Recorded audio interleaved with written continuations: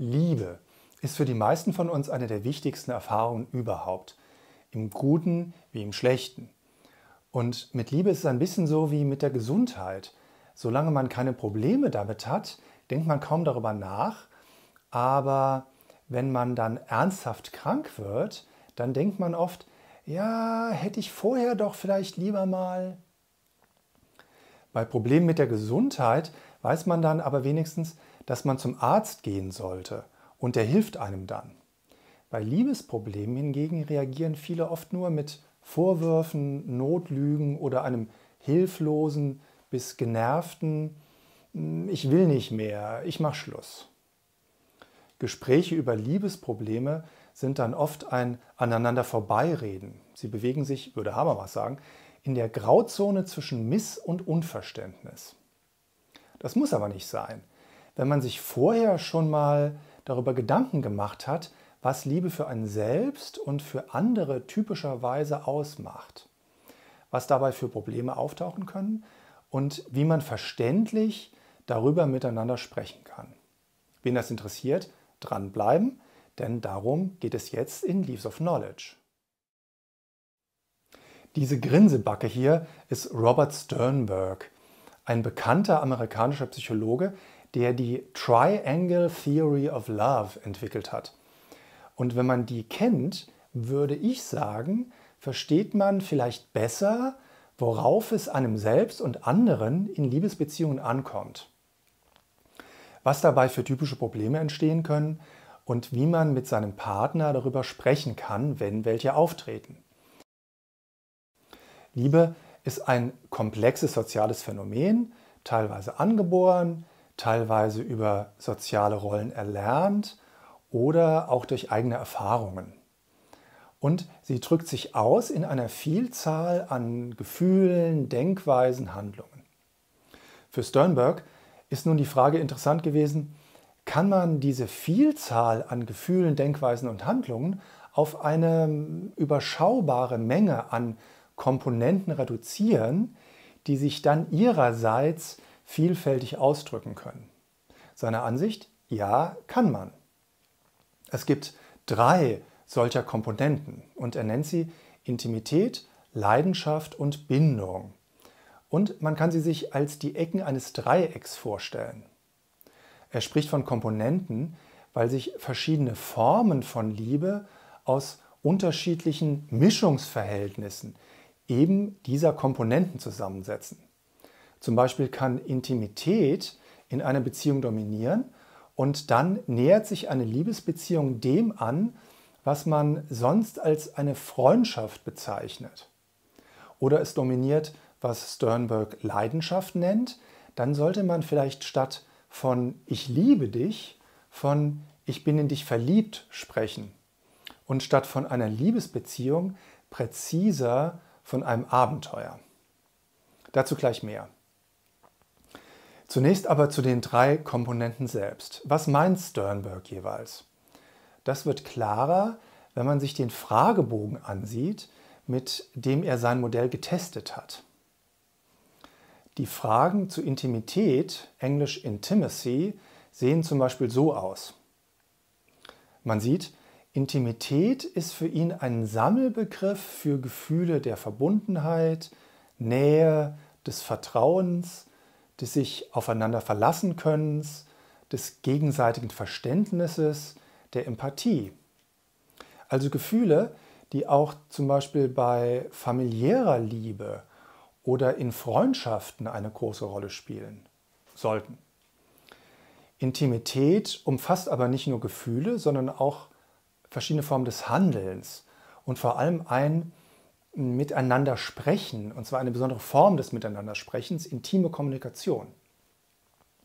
Das ist ein sich über etwas unterhalten, was einen von anderen Menschen unterscheidet, über etwas Persönliches, etwas Individuelles, bei dem andere normalerweise schnell genervt oder gelangweilt das Interesse verlieren, außer Psychotherapeuten, Freunden und eben der Geliebten oder dem Geliebten.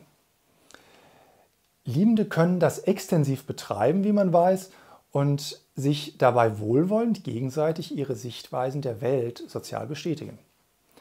Persiflierender Klassiker dazu ist ein Gespräch, das mit Schatz, wie war dein Tag beginnt und wo die Frau die Fragen stellt.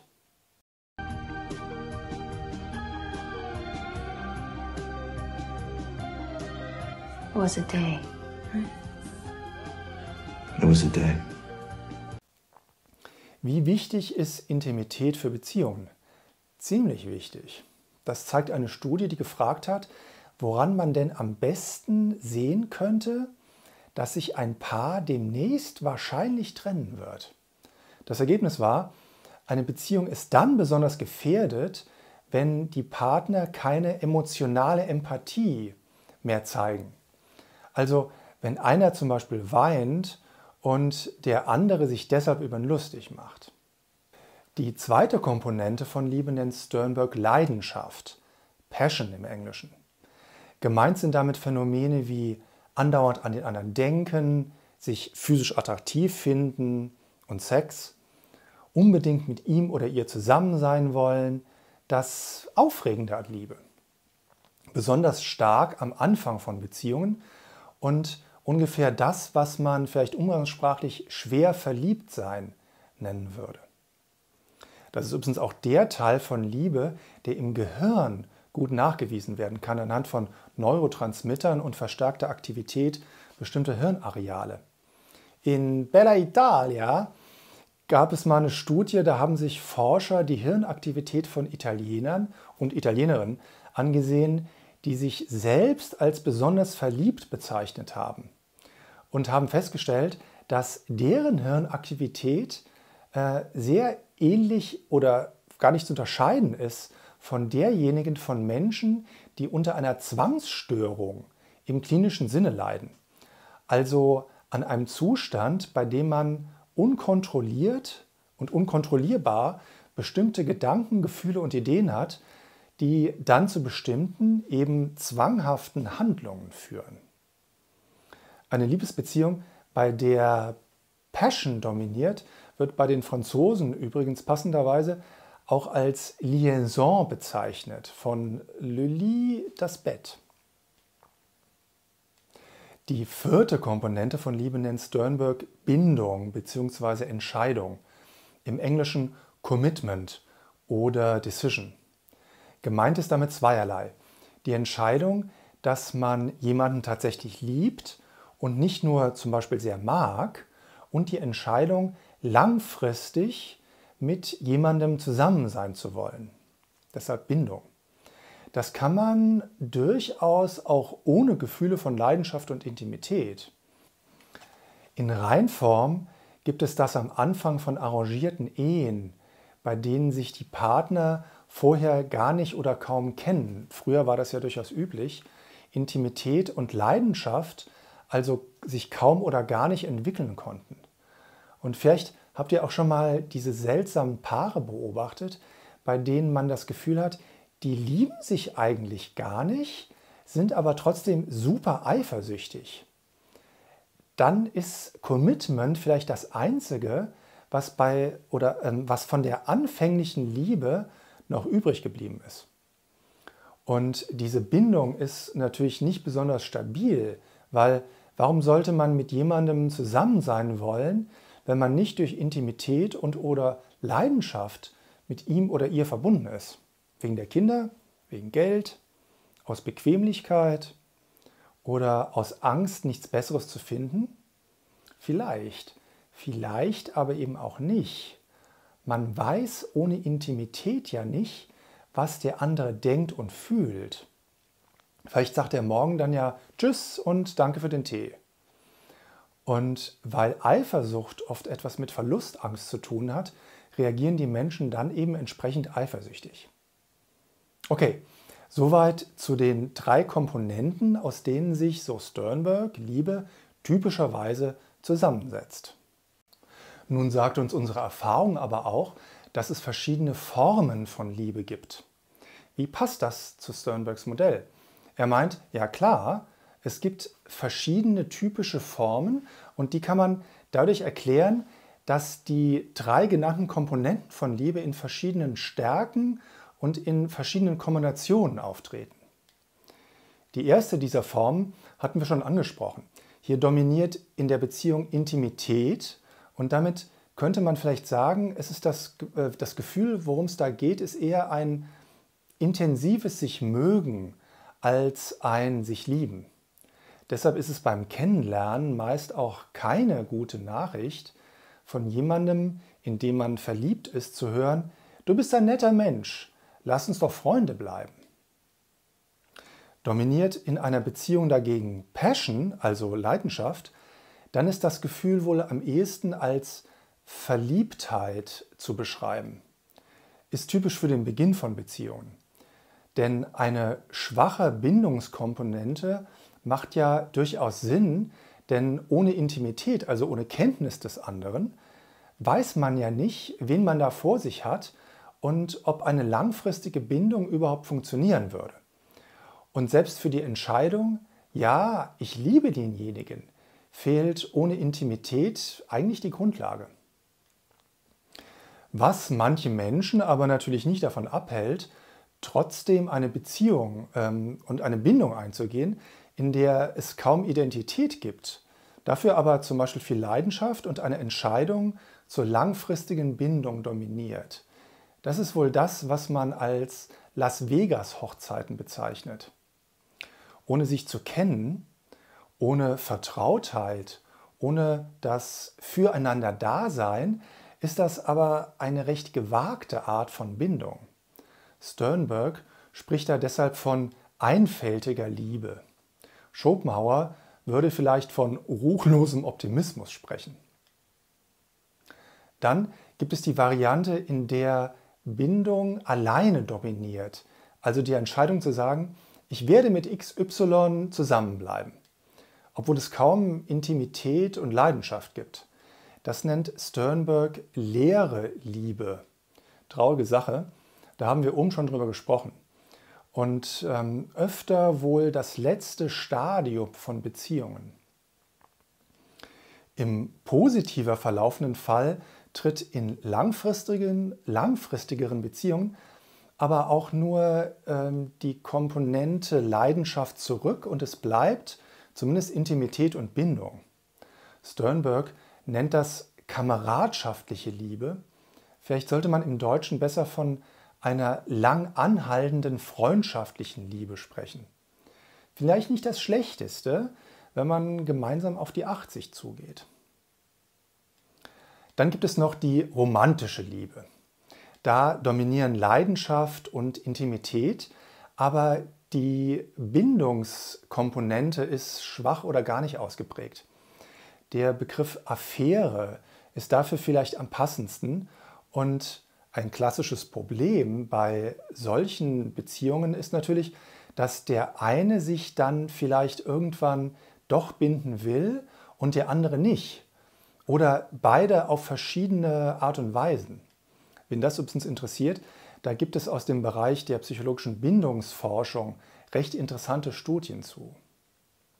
Und zuletzt, Tata, gibt es als Liebesform natürlich auch alles zusammen das rundrum sorglos Paket, die wahre Liebe, würden wohl viele sagen. Ein ausgewogenes Verhältnis von Intimität, Leidenschaft und Bindung. Nicht zu viel und nicht zu wenig. Hierzulande das kulturelle Ideal. So, was hilft das alles nun bei der Analyse von Liebesproblemen und wie man darüber spricht? Na, einige Probleme, die so auf diese Art und Weise in den Blick kommen, haben wir ja schon angesprochen.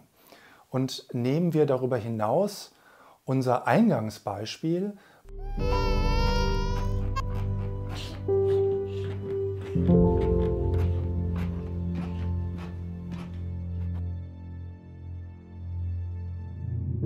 wo ja einer der Partner sagte, du liebst mich nicht wirklich, dann kann man mit Sternberg genauer fragen, was der andere denn meint, wenn er von wirklicher Liebe spricht?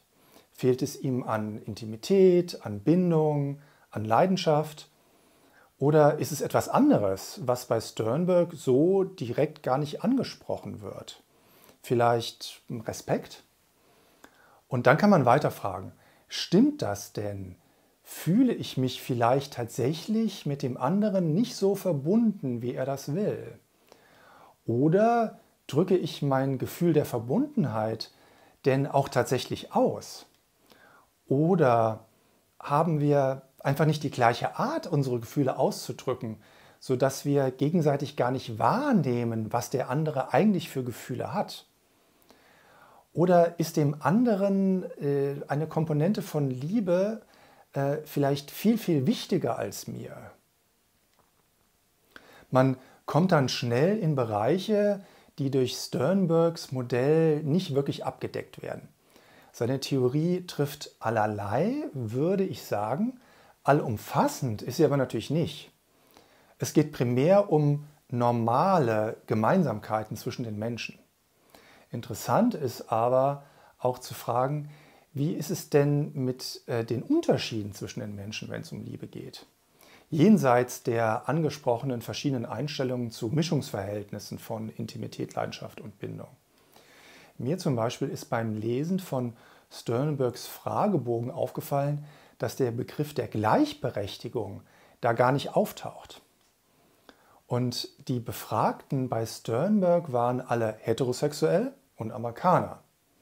Wäre spannend zu wissen, wie ist das denn bei Schwulen und Lesben oder in anderen Kulturen? Oder bei zum Beispiel sehr jungen Menschen, bei denen sich ihre Vorstellungen von Liebe gerade erst entwickeln. Und man kann nach krankhaften Formen von Liebe fragen. Romeo und Julia, immerhin das klassische Liebespaar überhaupt, sind am Ende ihrer Geschichte ja noch keine 16 Jahre alt und beide tot. Das fiele wohl in den Bereich der klinischen Psychologie der Liebe. Auch das ist ein interessanter Forschungsbereich. Wer da mehr drüber wissen will, unten in die Kommentare reinschreiben. Äh, dann mache ich da auch gerne weitere Videos zu. So, äh, das war's. Und äh, wie immer gilt, wem es gefallen hat, Daumen hoch, kommentieren, da antworte ich gerne drauf. Ich freue mich über jeden neuen Abonnenten und bis zum nächsten Mal.